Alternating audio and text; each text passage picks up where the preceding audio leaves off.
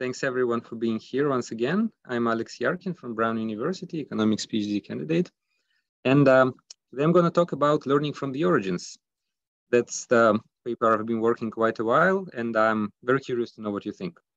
I think it's a very topical research because, um, well, basically because we live in times of both increasing migration and increasing international connectivity. And well, you will see in a minute why uh, how I think this learning from the origins may operate. Well, without any further ado, uh, let me start. And uh, basically, in a nutshell, this paper speaks to this very broad question about where preferences and attitudes come from. Okay, and we as economists and social scientists, we we tend to think, we used to think about at least two or three channels, right? First of all, preferences and attitudes can be transmitted vertically within the family right? And there is a lot of evidence on that. Then there is also evidence on local exposure, local networks, local peer effects, your neighborhoods, your schools, right? And so on. And finally, of course, especially in the sensitive years and the formative years, it was shown that exposure to shocks, exposure to salient events matters. But we often talk about local exposures, right? However, in the modern world, given, as I was saying, that is getting increasingly globalized, increasingly interconnected in terms of information flows now. Everything is online, right? All the media sources, all your friends, even your family members might be online, and so on. So basically, who are our peers, especially if we move cross country? How do we allocate our attention? Okay, do we get consumed by the local events and attitudes, or do we still care? Are we still influenced by attitudes from abroad? Okay, so which events do we pay attention to? Okay, and basically in this paper, the main question that I ask is how perceptive public attitudes are to opinions coming from abroad. Okay, an immigration network comes very naturally here because, well, immigrants tend to look back over the shoulder on the places that were important and maybe still are important to them. Okay, so basically the question becomes: Do immigrants learn from the origin? All right, is there this sort of spillover effect from the country in which you're born, or even your parents were born if you're a second generation immigrant. But maybe these events and opinions still transmit to you in your new place of uh, new place where you live. Okay. And basically, maybe an even more important question is can these migration networks propagate changing political ide ideology following important events? Right. So something happened far away, but maybe because of these migration networks, political repercussions of this event can be felt in very distant places. And why do we care? Well, because today, immigrants, especially if we combine first and second generation immigrants, they constitute more than 25, 30% in many developed countries, okay? And um, because of these the dynamics of opinions and thoughts of immigrants and their children, they matter for locals, they matter for voting oftentimes and for social cohesion more broadly. Um, I also see something in the chat. Do I have to? No, okay. I will respond. Don't worry, I'll let you know when there's a question. Okay. Yeah, okay. So this is basically the, the motivation of this paper. All right, and um, one can think of several well-known examples, right? So one would be, for example, example of uh, this, this case of Hungary, where basically Hungarian government and Viktor Orban in particular was basically trying to affect how Hungarian diaspora spread across Europe, uh, voted for uh, basically anti-immigration parties and anti-immigration initiatives. All right. Another salient case is Russian diaspora in Germany, uh, which basically where we see how obviously over the last last you know 10 15 years anti-western attitudes in russia were and are on the rise and we see a very similar dynamics in Russian diaspora living in Germany and know that this diaspora is there for many years. There, most of them are very well integrated in the whole society. And still, you know, if certain political attitudes change at the origin, it seems like there is this spillover effect to diaspora. Okay. These are just, of course, just two cases, all right? So what I do in this paper is that I consider a shock that can basically trigger this sort of social learning from the origins, all right? So I used origin cross-time variation in country exposure to the European refugee crisis. I will speak more about how I, how I measure this. And I test whether basically origin country exposure to which the diasporas are not directly, exposed, but the origin countries are exposed. Whether this origin country exposure affects these groups of immigrants living abroad. Whether it affects their attention, I measure this via Google Trends. So what do they care about, what they Google online, whether it affects their uh, opposition towards non-Europeans as measured, let's say, via European social survey, and whether it affects their voting behavior, okay? Whether you vote for local conservative parties when your origin country gets certain exposure, okay? And then I will try to see whether basically the transmission of attitudes between populations can actually explain these effects of the crisis. Okay, so this is basically the, I don't think we'll have time in this relatively short presentation, but if we do, I will also show that this, this idea of spillovers following salient events, that it actually extends to other shocks and other non-European contexts. In particular, other shocks like same-sex marriage laws, for example very salient event in a given country, I will show it has repercussions abroad. Of course, if we find that there is this sort of spillover effect, this sort of co-movement, then we may ask why. What is going on? Why would people living far away from their homeland, why would they update their own attitudes or behavior? Right? There could be two types of explanations. One is the preference-based explanation, where basically either because of identity, that you know you don't want to feel too different from the group you identify with, or because of some sort of deep ingrained cultural similarity, meaning that same origin, same shared history forces you react in the same way to silent. Okay, I will show that this is unlikely to be the full story because there is actually evidence for communication. Okay? And well, the second explanation is basically information-based, communication-based. Okay, and here again we can we can have two stories, right? One could be like a network story where basically you have, let's say, your family or friends still at the origin. And uh, for some reason, if, let's say, uh, your aunt or your mother sees refugees and tells you how terrible that is, uh, you tend to believe it and update your own. Right? Or it can be not a private network, but like a public, let's say, media signals, right? So you still consume origin country media, and this forces you to, you know, move in the same direction as your country of origin. Uh, second channel, it also implies, by the way, that you still have a disproportionate attention to your country of origin, but the explanation is slightly, slightly different. And it's not so simple to distinguish this. Uh, I'm still working on that, but we can discuss this later on. Okay. And, uh, you know, again, since this is a short presentation, I want to give this preview before we go into details, because you never know uh, where the time runs out. And so the cur currently paper consists of two, two parts. The first part is this uh, sort of uh, broad, broad patterns thing where I document basically that, forget for a second about the refugee crisis at all. I look at various topics, various political and social issues, and I document the co-movement. Basically, countries of origin and immigrants from this country living elsewhere, they co-move in their political attitudes in a broad spectrum of attitudes, okay? Uh, they co-move in what they pay attention to, and they co-move in what issues they find salient, okay? Moreover, this co-movement is stronger for immigrants who are less integrated into the new society. I can measure this as citizenship, as language use, length of residence, and so on. And importantly, to distinguish it be, uh, between these various transmission channels or explanations, I show that communication actually plays a role. Okay, so there is suggestive evidence that, for example, if parts of your family are still abroad at the origin, then communication is stronger and spillovers are stronger. Okay, or for example, if your region in which you currently live is connected via social media to your country of origin, then again, um, spillover is stronger.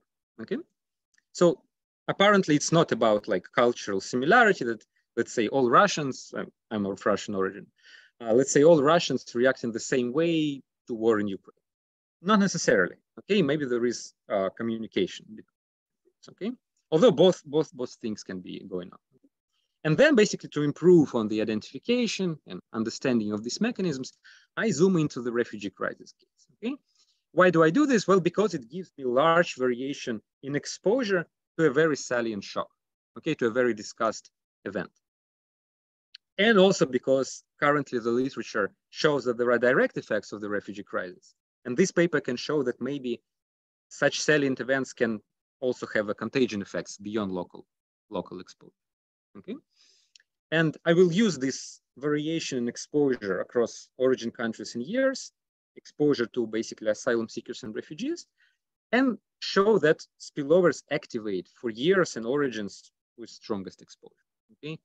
And apparently the way that it works, and I can show it with the data, as well, this is a little bit more suggestive that once the shock hits the origin, it activates attention from abroad.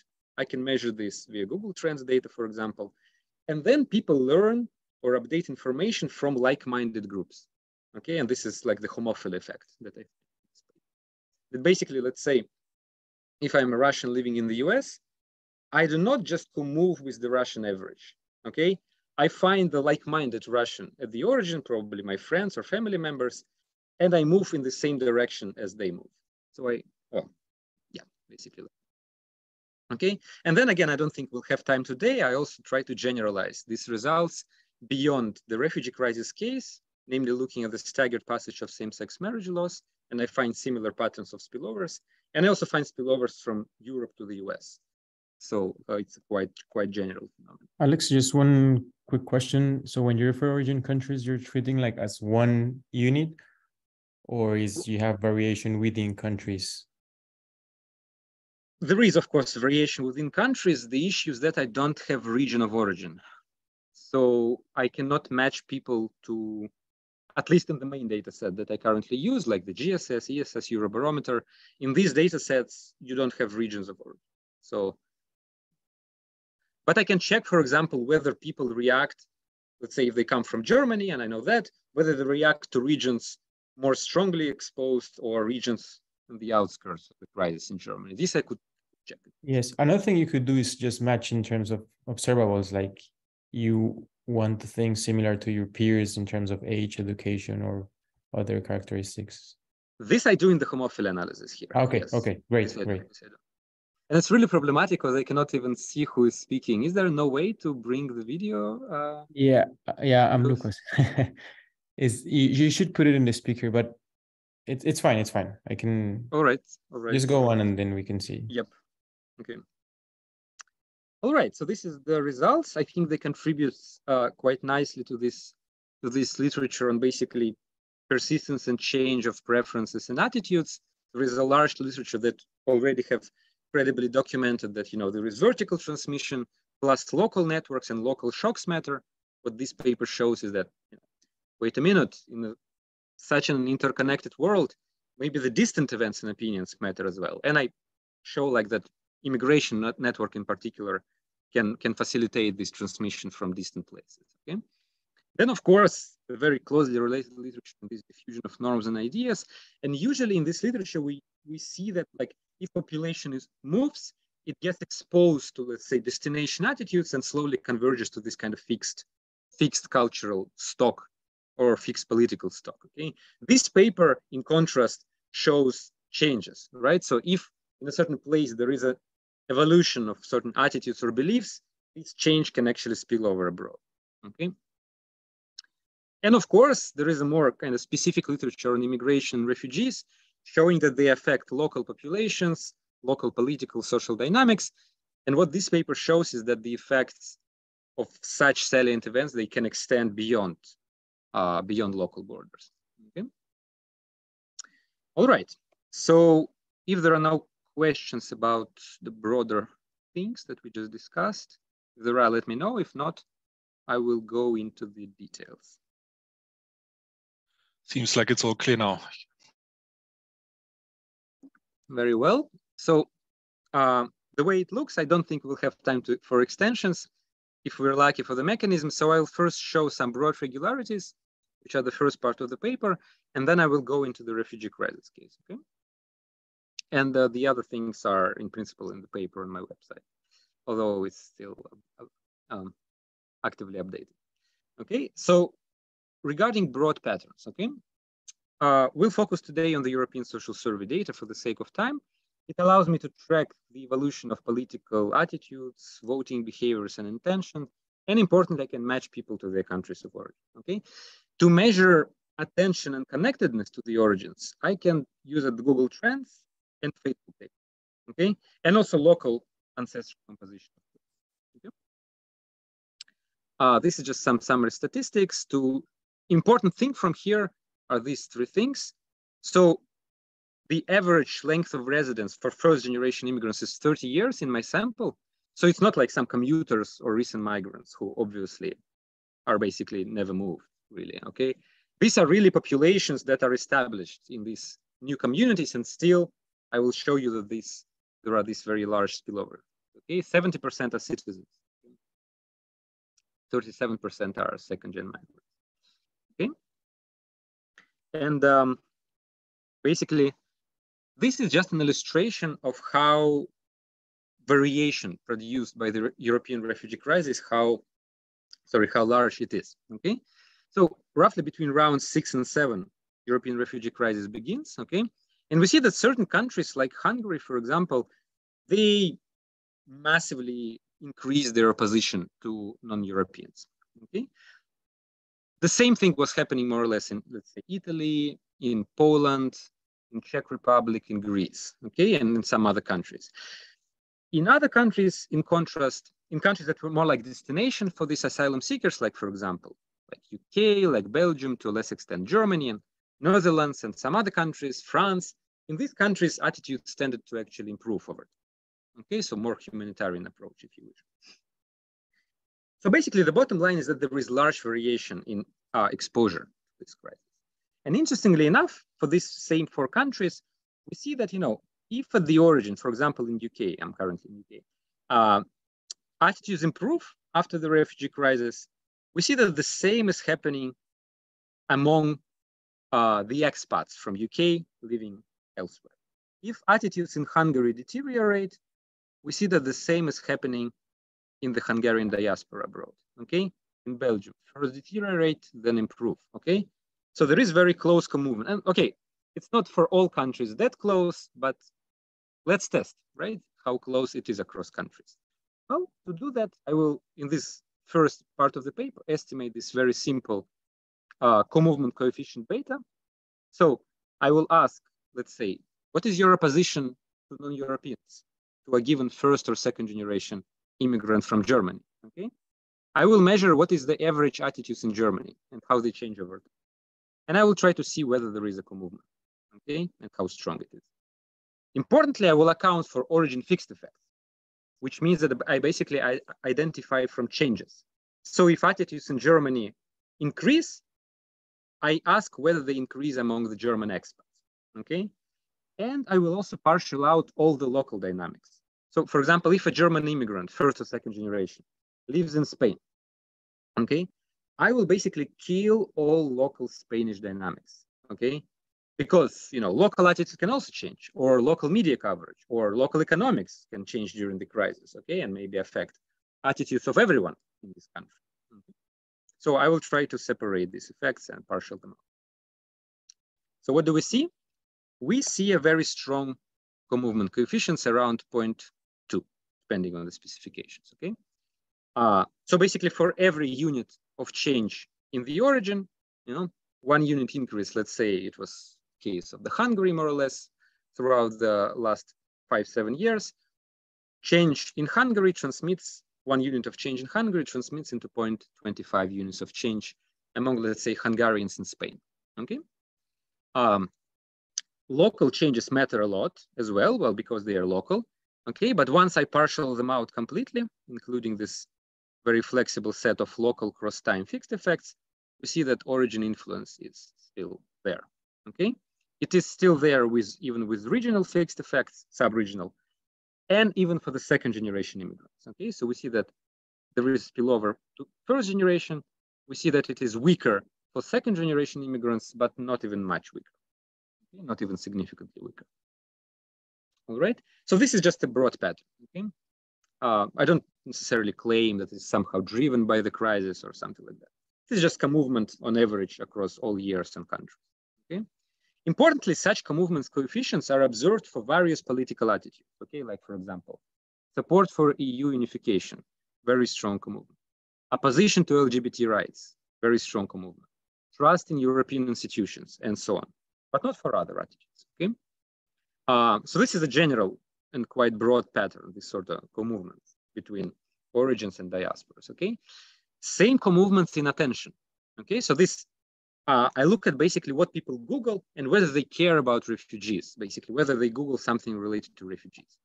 And let's say on the left, the black line measures uh, Flüchtlinge, meaning German word for refugees and various searches with it in Germany, okay? And on the right, in German language, but coming from abroad, let's say from France or from Spain or from the US. Okay, and we see that basically there is an almost perfect movement in interest to this topic, right? Same for Hungary, Russia, and other countries. Okay? This is just illustration again. All right.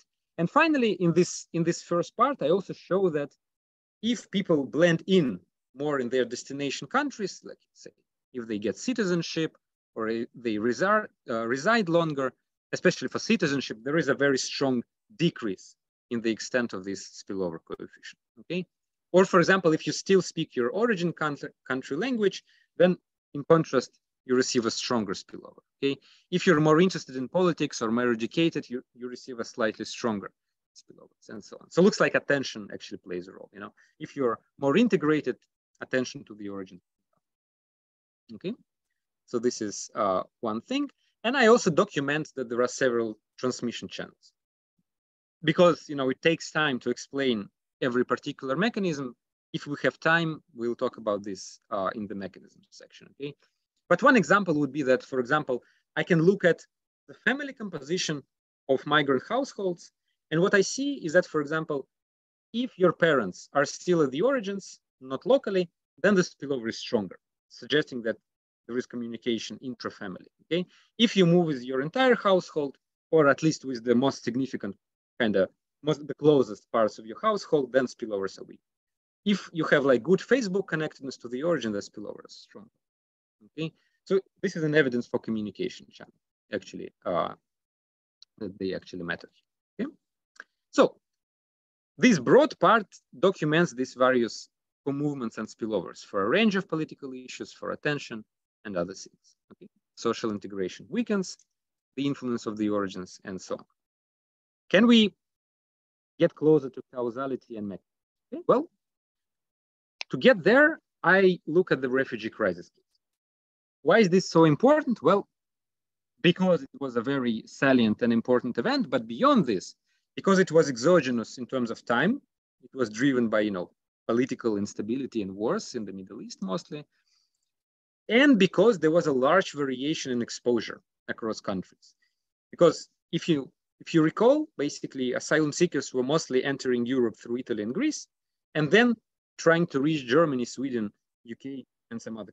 So basically, certain countries like say Russia or Portugal, they were naturally left out of these migration routes. Okay, so it's very easy to kind of categorize countries into more or less exposed to this crisis. Okay. And what I do is that I measure exposure to the European refugee crisis at the origin country cross time level.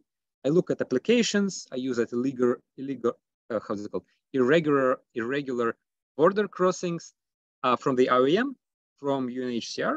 Okay. And then for robustness, I also look at how, what is like the attention basically to this event. Because in principle, not necessarily that if many refugees are passing through the country that people actually discuss this, right?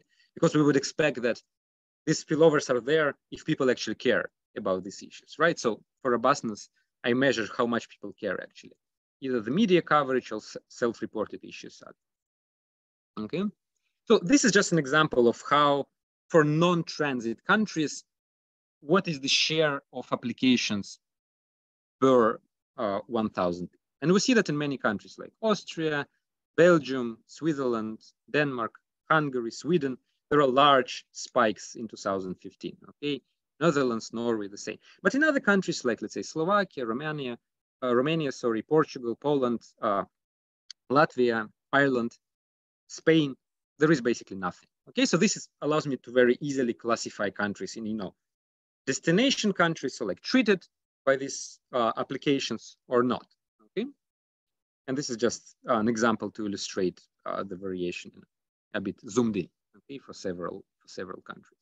Note that, for example, Italy and Greece do not have many applications, right? Although we know that refugees were there.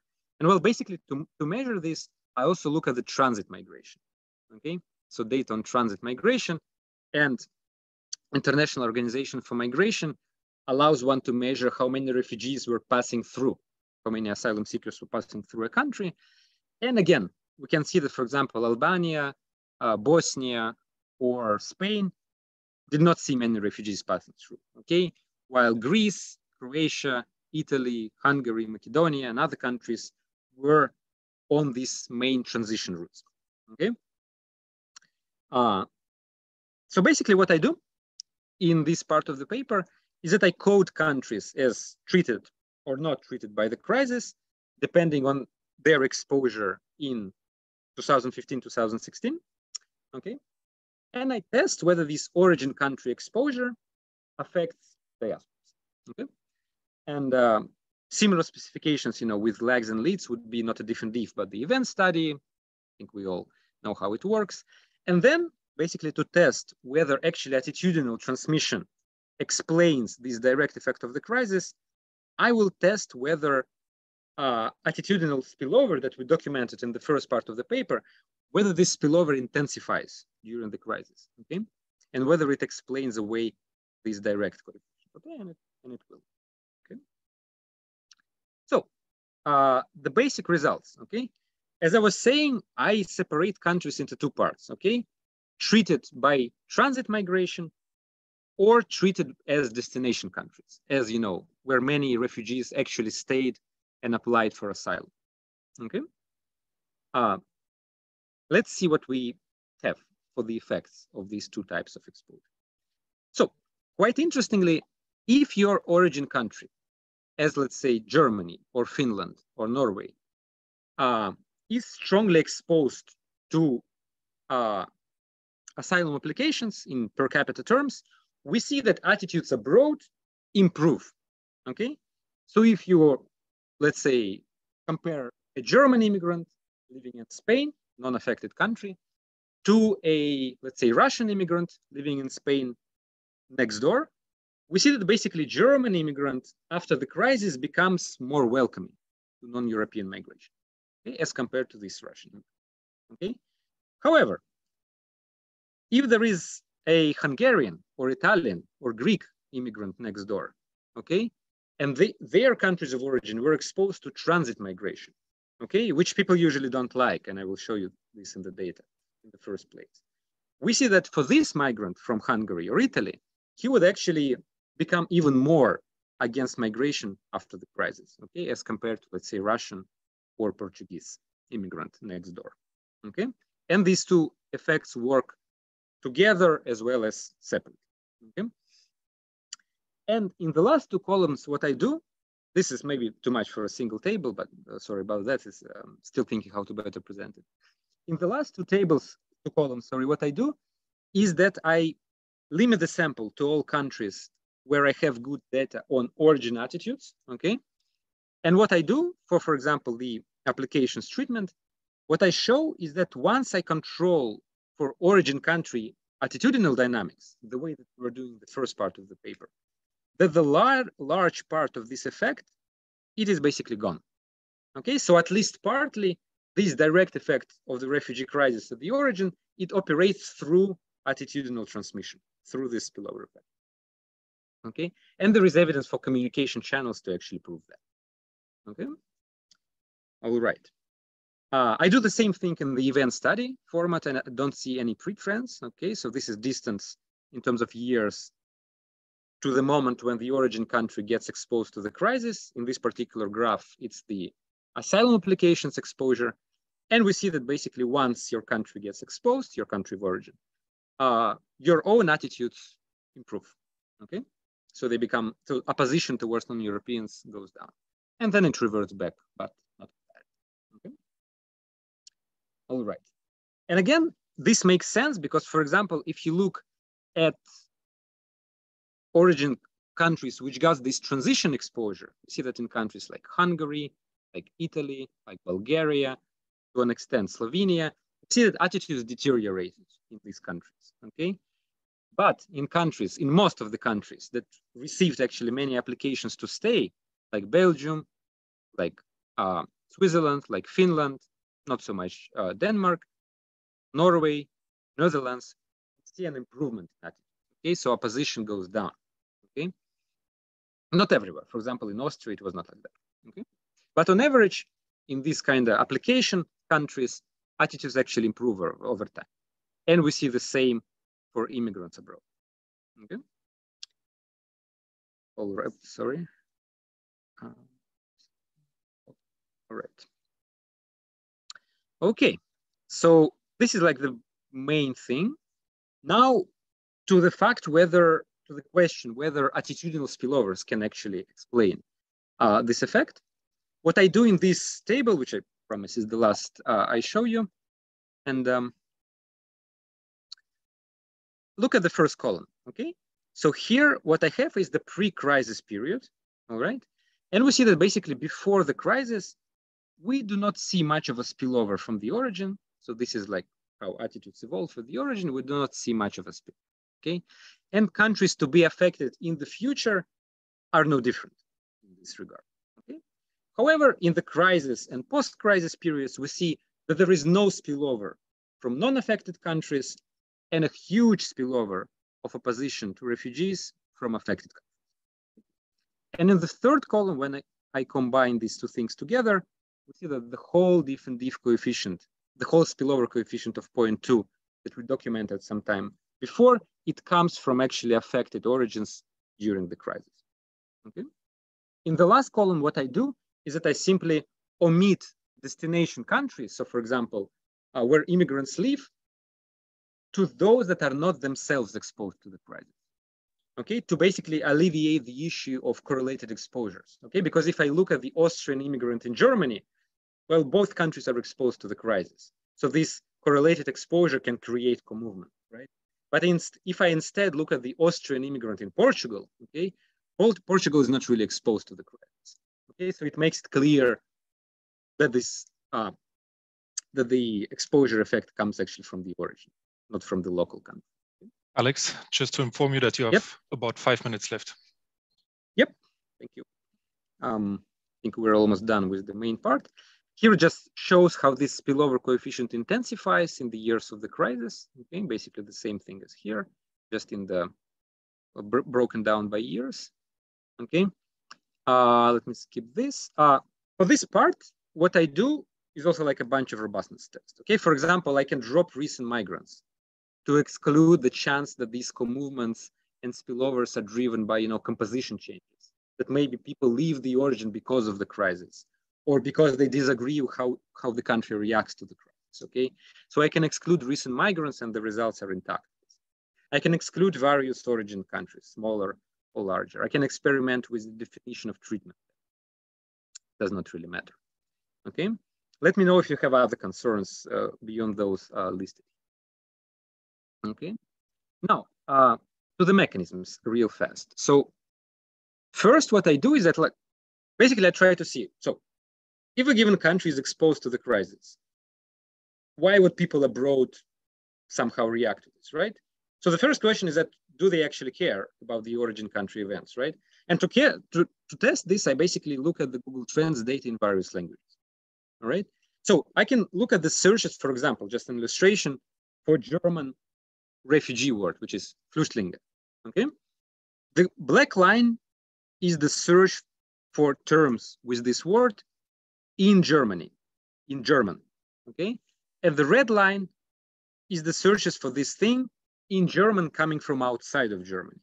Okay, and also in the exercise, I do the same in German coming from non-affected countries, like from Portugal or from Russia, not from Netherlands, for example. Okay? And we see that basically, irrespective of the specification, what, what we will see is this very strong movement. Okay, so when uh, Angela Merkel makes her famous speech, there is a spike in searches. When there are uh, Köln uh, sexual assaults in the January of 2016, there is a spike in searches in attention, both at the origins and from abroad. Okay, so people care. Okay, what is what is happening there? Um, they care more if it is actually their origin country. Okay, so if I compare German searches uh, to, let's say, Spanish searches from abroad, okay, we see that when there is a Germany-specific shock, these zones, Spanish searches do not react, but German searches from abroad do. Okay, and I can combine all languages and all countries together, and we see that this co-movement in searches, it, it intensifies during the crisis period. Now, for transmission channels, again, it's maybe a bit too long for me to cover. So let me just again restate that there is evidence for the importance of local diasporas. If you if you live in a region with many co-ethnics, spillover is much stronger. You know, if you're all by yourself, you have no one from your country of origin to talk to. Apparently, that matters a lot for the strength of spillovers. There is also evidence for uh, family transmission and for Facebook ties, okay? But I, I, don't have time to talk a lot about this. Important thing is who do you actually learn from, okay? As we were discussing, maybe there are some selection issues that you, for example, moved away of your country and you don't really associate with whatever your government or your country on average thinks. For example, I disagree with the Russian position on the on the war in Ukraine strongly. Okay, I do not commove with the average Russian attitude currently. But maybe what I do commove with is, for example, what uh, more liberal-minded Russia thinks currently. Okay, so let's see. And the European refugee crisis was also a very polarizing event. Okay, so for example, in Austria or Germany, you can see that right-leaning and left-leaning folks were actually uh, thinking very differently about these events in terms of their opposition to non-Europeans. Okay, and what I see is that basically, for example, if I look at the respondents who identify as left-leaning, the largest and the positive spillover coefficient is with the left-leaning origin, not with the right or the center, okay? Same if I look at the educational homophily, okay? If I, for example, I look at people without higher education, they come off with the origins without higher education, not with uh, highly educated uh, average, okay? Alex, so could effect, you then conclude, please? Yes, it's basically the last thing. So what it shows basically is that the bulk of the effect comes from like-minded groups, and I show it in more, detail in the paper. Uh, then I basically go to other cases like you know the same-sex marriage laws. I, I saw uh, similar spillovers and so on, but because we are out of time, I will just conclude. So I think this paper is important because it shows this kind of real-time political contagion, okay, from origins to diasporas, to immigrants living elsewhere, okay? Uh, and it also shows where it comes from. It comes from salient events that hit the origins and that basically trigger attention and learning from the origin, okay? It also shows that quite naturally, you know, if migrants integrate more into the destination, then they care less and they, so basically another reason why integrating migrants in the host society is important because they basically receive less of spillovers from abroad. Okay, and it also shows that basically learning is stronger from like-minded groups at the org. All right, it shows that basically um, why is it important after all? You know, I think it is important because it extends our understanding of how political attitudes, beliefs, and formed. Okay, it's not only family, it's not only local exposure and networks, it's also the origin. Okay?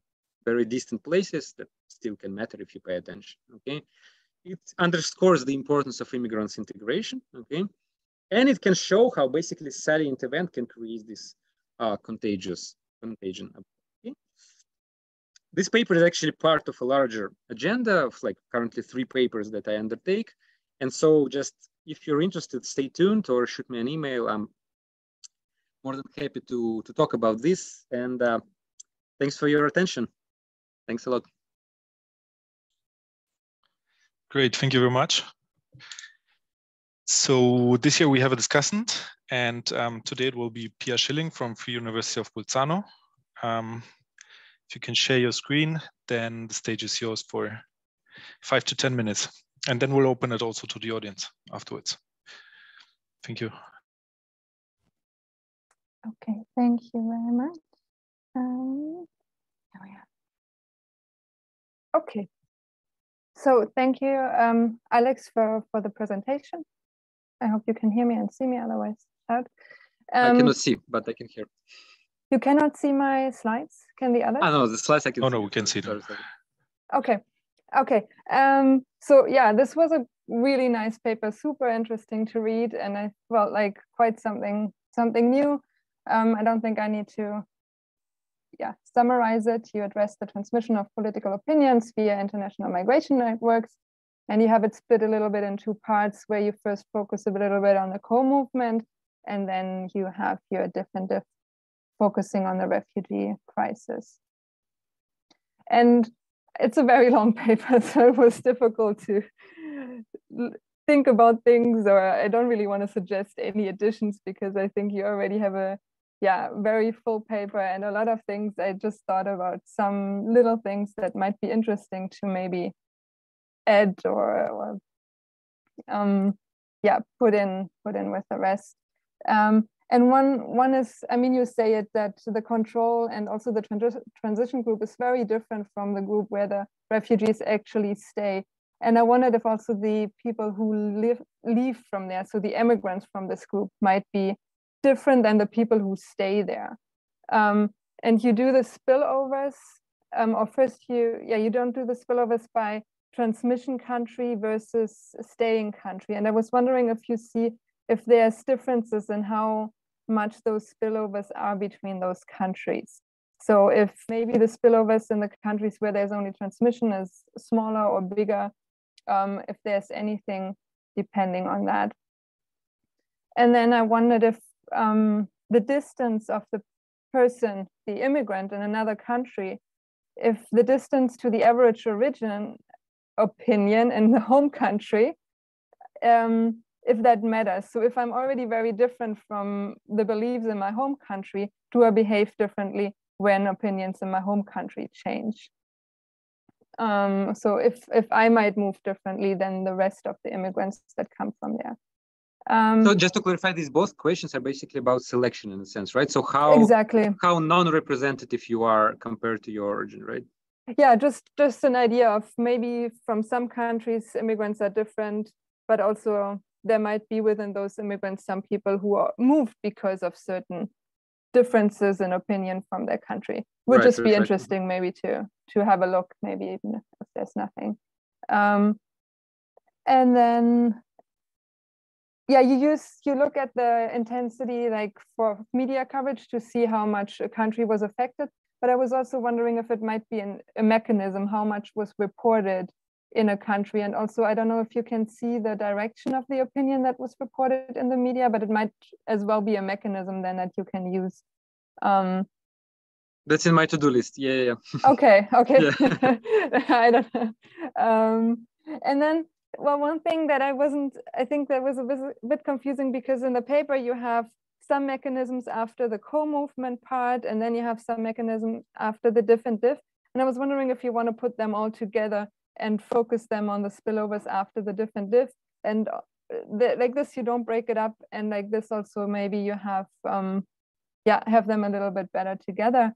And for, I really like your social media um, and media usage and online usage to, um, to look at the spillovers and your connectedness. And an idea that was, I only Googled quickly, like for example, Poland has had only 20% internet coverage in 2002 compared to I think 80% or 85, I don't remember, but a very high one in 2019. So maybe you can also use that, how much people could actually connect through online media, but also also through social media, um, just based on based on technology. Yeah, there is even data for Europe on the share of people on social media, I think.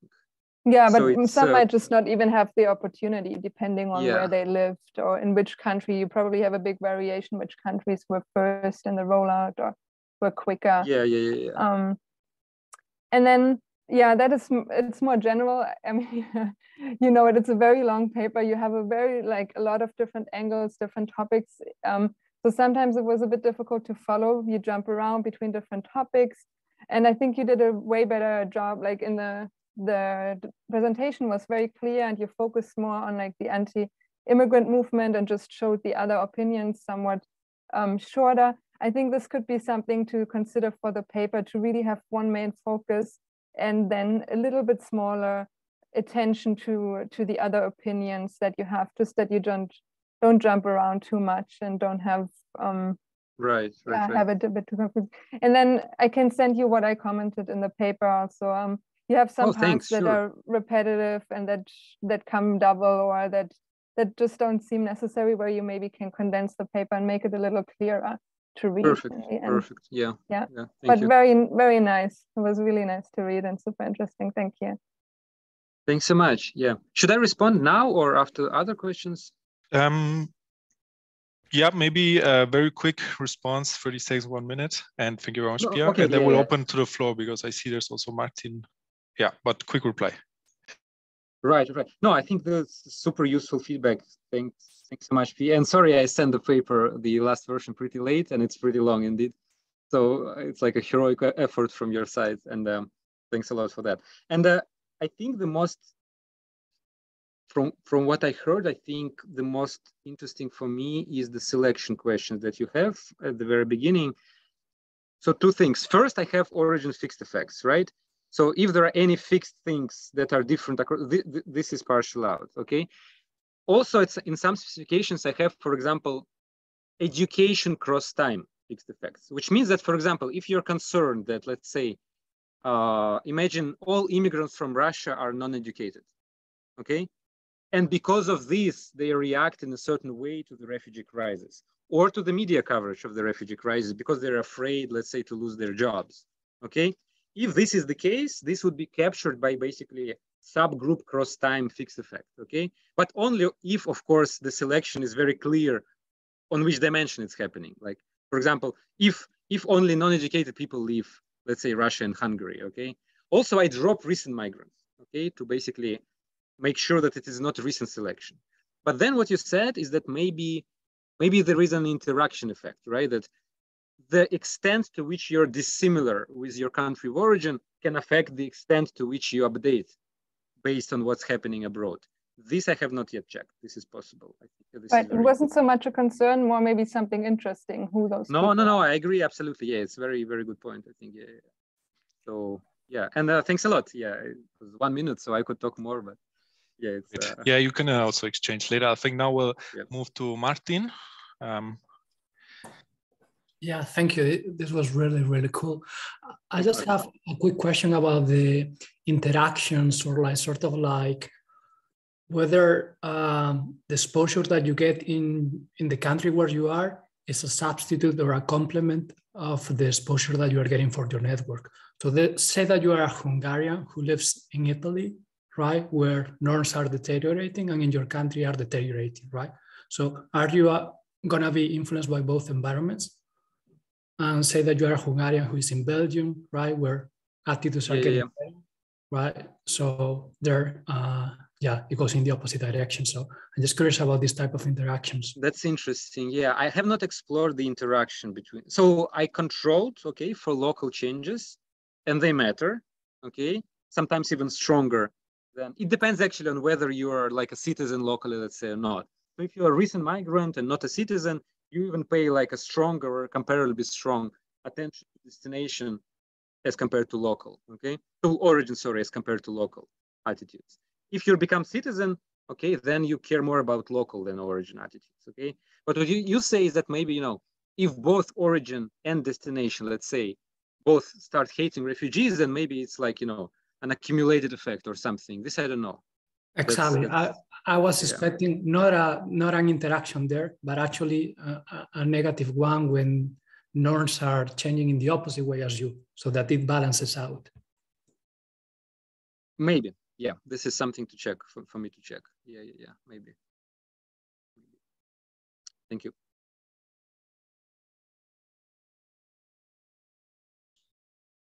Is there any other So- questions, please?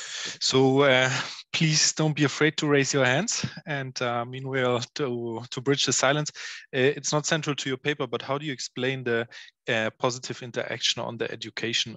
I, I would have thought that maybe, I would have expected it the other way around. kind of? Yeah, so for me, it was a, both like integration and, you know, education and whether you're interested in politics is a story of attention. Okay, so basically how much attention do you pay to foreign events? Okay, if you are, you know, integrated in your new, new country, you probably pay less attention, okay, to events uh, back home. And this is what we see in the data, right? But then education and interest in politics were like the opposite side of this. So I thought that like, okay, if you are more educated, if you're interested in politics, it's like a general thing, you know, so you're more interested in uh, political, social, cultural affairs. And the spillover is stronger in this case. And by the way, if I run them together, okay, then basically they cancel out each other. So apparently this, you know, education goes through interested in politics, basically, okay? But the effect of education is stronger. So if you're educated, there is like a stronger increase in the spillover coefficient, but that's that's how it is. But um, for me, it was like a model of attention. In the paper, I even have like the model actually outlined, but uh, it's not not a rocket science there. So yeah. But thanks for question, every, questions, everyone. It's it's very nice and uh, very helpful. If there are any other, please uh, go ahead. So I just like one quick thing. Like um, I think there's another question. Yeah, I can speak with him another time, so no worries.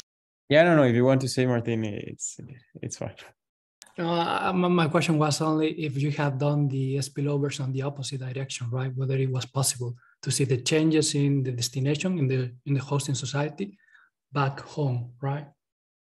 Yeah, like if yeah, if there is like a change in your new country or among the diaspora, whether it's spillovers back home, basically, right? I think on this, so one, I'm kind of trying to separate the other uh, direction of traffic, right? So what I do is that I limit my sample to those immigrants and second-gen immigrants who live in non-affected countries.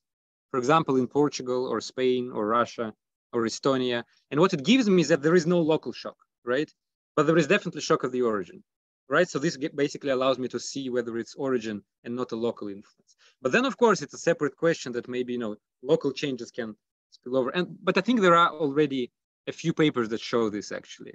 There is a paper on Moldova, for example, that shows like how you know immigrants from the Moldovan expats from the West, how they affected democratic attitudes back home, uh, and some other papers in this regard. So I think in principle there is evidence that this can be happening. But usually it's like not that like it changes abroad spill over back home, but like just an exposure to a different culture can can get you know back back back home. Uh, in this paper, it's like more an effect of changes on changes. But, uh, but I think it's a totally totally valid question. Yeah. All right, we have another question by Teresa, so I'm unmuting you. Uh, can you hear me? Yeah. Yes. Hi. Um, hi. So it's not a, I mean, directly directly related, but you you do uh, interest in politics sort of has a heterogeneous effect. But I was wondering if you could look like at political mobilization as an outcome, because when you make this uh-huh. certain issue, which is very related to politics, more salient, this might have an effect on political participation or simply on interest in politics by these migrants, both in politics back in the home country and at That's destinations. So whether they like protest, vote, yes, or simply report being interested in politics. In, in politics, exactly. So the in political science, I think there is a lot of this where you measure just like if or political mobilization. Yeah. So if you're uh, intended to vote or if you maybe start Perfect, having some party Yeah, I can check this. some Yeah, party can- No, affiliation so maybe i don't know if you could have different outcomes to look but i think it could also be an interesting thing Absolutely, and thanks for suggesting this interest in politics things and political activity. What I do have beyond like attention and attitudes and salience is actually voting. Okay, so I can show that, for example, if your country of origin becomes more conservative, and if you're interested in politics, and only in this case, you are more likely to vote for conservative parties locally. Okay? or i don't know if the survey has but sometimes they ask if you have no party preference and maybe you just start having a party preference you know i mean i think that there there could be uh, ways of looking at this Well, keep in mind it's not a panel. Okay, so it's Yeah, just a true. group. A group is becoming more interested, right? yeah exactly so- right Yeah, yeah, yeah, um, i was thinking in a No, no, but still, structure that it's- you could look at it Yeah, yeah, yeah. There is this German panel, right? This German socioeconomic panel. Exactly. So there it would be possible to check for. That's the one I'm using, so that's why I was. Yeah, yeah, I know, I know, I know. So, yeah. very specifically about this one. yeah, yeah. No, cool. Yeah, thanks. I, I can I can try this. Yep.